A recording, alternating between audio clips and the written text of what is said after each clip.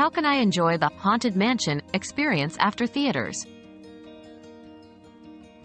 Going to the theater is a unique experience, but how can you relive the magic of Haunted Mansion once it's out of cinemas? Start with a home theater setup to recreate the ambiance. Gather friends for a viewing night, and maybe even add some haunted decor for a fun touch. Always remember, the magic lies not just in the movie, but in the shared experience.